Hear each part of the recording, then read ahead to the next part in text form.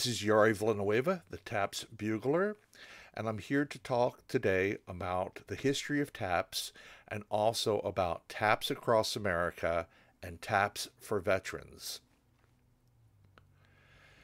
It consists of 24 notes played on an instrument that can only play five pitches of the overtone series.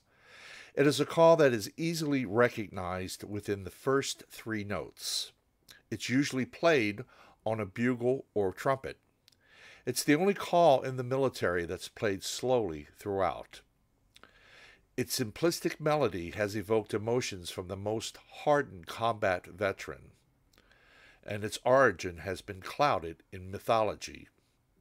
It's a call that has a dual purpose one to signal lights out at the end of the day, and the other as a formal military honor to those who have served in uniform. It's a call that has been open to interpretation and arrangement, from a solo rendition to an echoed version to accompanied arrangements and in musical settings. It's a melody that has had many lyrics set to it. It is a piece of music performed by polished military professionals, amateurs, school bandsmen, and volunteers interested in providing the service at veterans' funerals. It is America's national song of remembrance, a recognition passed by Congress in 2013. On November 11, 1918, a bugler sounded ceasefire, which brought hostilities to the end of the war to end all wars. Three years later, on the plaza of the Memorial Amphitheater at Arlington National Cemetery, an unknown soldier from that war was buried with full military honors. Over the next 63 years, three more Americans would be laid to rest next to the World War I unknown, symbolizing their greatest contribution to our nation. At each of the interment ceremonies, a bugle call was sounded as a tribute to those who, as Abraham Lincoln put it, gave the last full measure of devotion. Of all the military bugle calls, none is so easily recognized or more apt to evoke emotion than the 24 notes that comprise taps. The melody is both eloquent and haunting, and the history of its origin is interesting and somewhat clouded in controversy and myth. The use of taps is unique to the United States military, as the call is sounded at funerals, wreath layings, and memorial services, yet it is recognized anywhere around the world. The call was first sounded during the American Civil War when Union General Daniel Butterfield was not pleased with the call for to extinguish lights, the lights out signal, feeling it was too formal to announce the day's end and he decided to change it. Up to the Civil War, the infantry call for extinguished lights was printed in Silas Casey's Infantry Tactics and other manuals, the music having been borrowed from the French.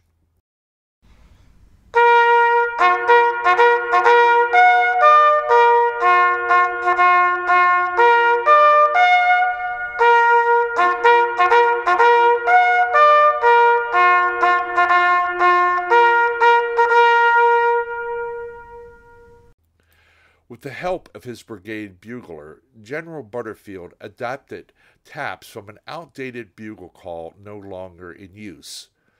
The new call was meant to honor his men who were camped at Harrison's Landing, Virginia, following the Seven Days Battle. The call sounded that night in July 1862 soon spread to other units of the Union Army and may have even been used by the Confederates. Taps was made an official bugle call after the war. Daniel Adams Butterfield was born in Utica, New York on October 31, 1831. He was the third son born to John Butterfield and Melinda Baker Butterfield. John Butterfield was a prominent Utica businessman who pioneered the transportation business and was instrumental in starting America's first overland express service.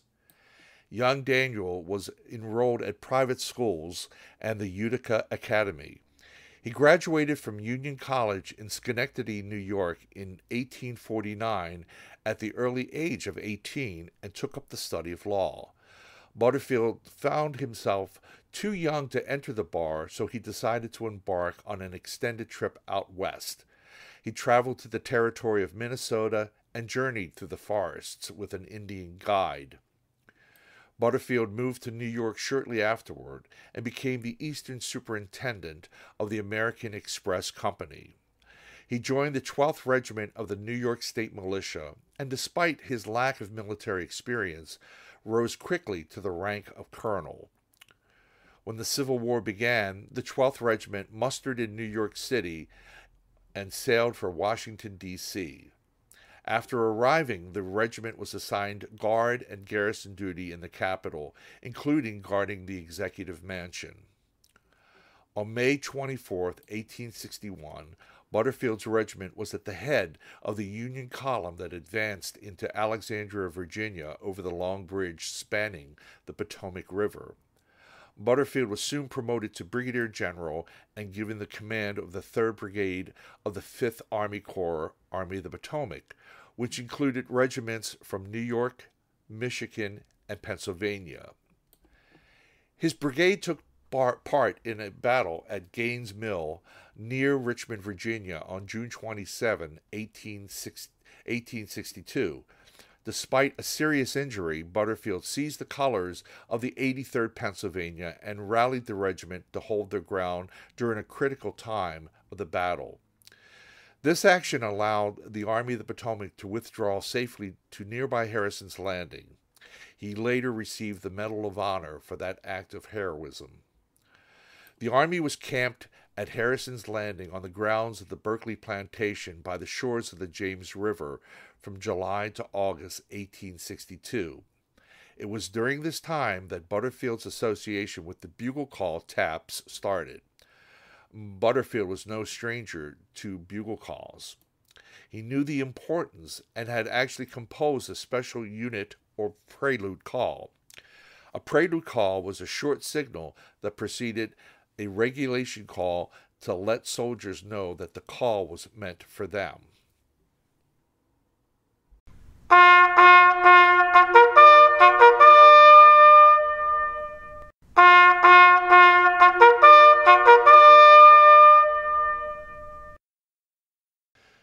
He had trained his buglers in the use of the unit call, and among those was the young bugler of the 83rd Pennsylvania Volunteers, Oliver Wilcox Norton.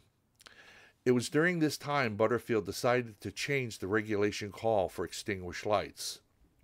Norton wrote about the creation of this new call, which was to become TAPS. He wrote, During the early part of the Civil War, I was bugler at headquarters of Butterfield's brigade. One day, soon after the Seven Days Battle on the peninsula, when the Army of the Potomac was lying in camp at Harrison's Landing, General Butterfield, then commanding our brigade, sent for me, and showing me some notes on a staff written in pencil on the back of an envelope, asked me to sound them on my bugle. I did this several times, playing the music as written. He changed it somewhat, lengthening some notes and shortening others, but retaining the melody as he first gave it to me. After getting it to his satisfaction, he directed me to sound the call for taps thereafter in place of the regulation call. He continued, The music was beautiful on that still night and was heard far beyond the limits of our brigade. The next day I was visited by several buglers from neighboring brigades asking for copies of the music, which I gladly furnished.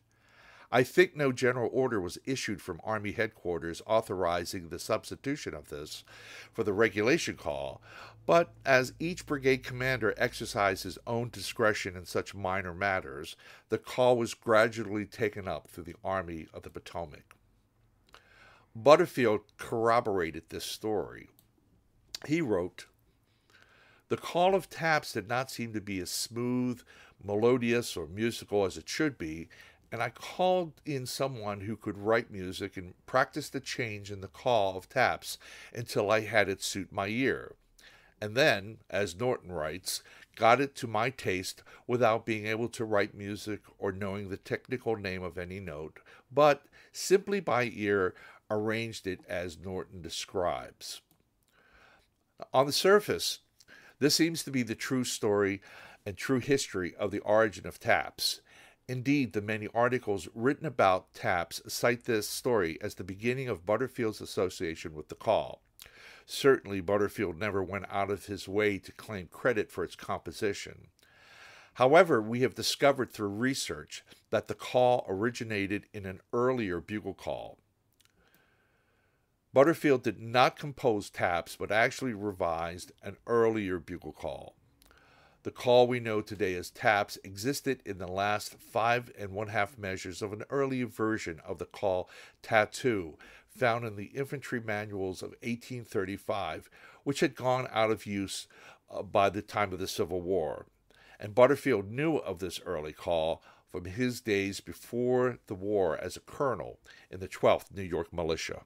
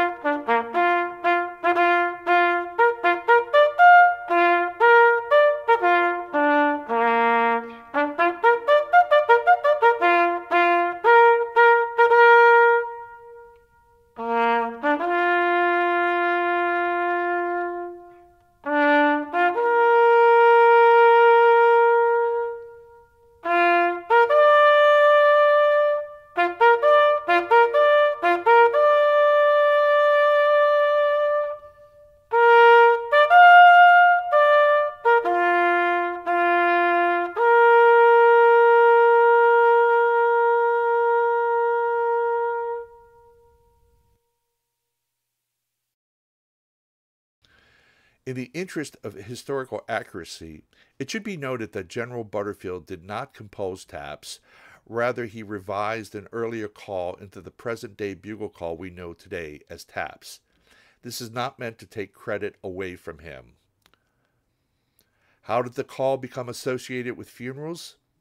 The earliest official reference to the mandatory use of taps at military funerals is found in the U.S. Army Infantry Drill Regulations for 1891, although it had been doubtlessly been used unofficially long before that time under its former, former designation, extinguished lights. The first use of taps at a funeral occurred in 1862 during the Peninsular Campaign in Virginia. Usually, three volleys were fired during a military burial service. This practice may have originated in the old custom of halting the fighting to remove the dead from the battlefield. Once each army had cleared its dead, it would fire three volleys to indicate that the deceased soldiers had been cared for and the army was ready to resume its fight. The tradition of firing three volleys at funerals was noted in regulations and in manuals. In modern day ceremonies, the fact that the firing party consists of seven riflemen firing three volleys does not constitute a 21 gun salute. That is only rendered by cannon firing 21 times. During the Peninsular Campaign, Captain John Tidball of Battery A 2nd Artillery lost a cannoneer who, who, who died. The soldier then needed to be buried at a time when the battery occupied an advanced position concealed in the woods. Since the enemy was close, Tidball realized that it was unsafe to fire the customary volleys over the grave. He worried that the volleys would renew fighting. It occurred to Captain Tidball that sounding taps would be the most appropriate ceremony to use as a substitute. He ordered it to be sounded during the burial. The practice thus originated was taken up through the Army of the Potomac and finally confirmed by orders. The first sounding of taps at a military funeral is commemorated in a stained glass window at the Chapel of the Centurion, the old post chapel at Fort Monroe, Virginia. The site where Taps was born is also commemorated by a monument located on the grounds of Berkeley Plantation, Virginia. This monument to Taps was erected by the Virginia American Legion and dedicated on July 4, 1969. The monument was rededicated in July 2012 on the 150th anniversary of the bugle call Taps. Taps Across America, the National Moment of Remembrance. On Memorial Day, Americans remember those who have died in military service to the United States. The National Moment of Remembrance is an annual event that asks all citizens, wherever they are at 3 p.m. local time, to pause for a duration of one minute in silent tribute to the men and women who have honorably served in uniform and to those who have made the ultimate sacrifice for our nation.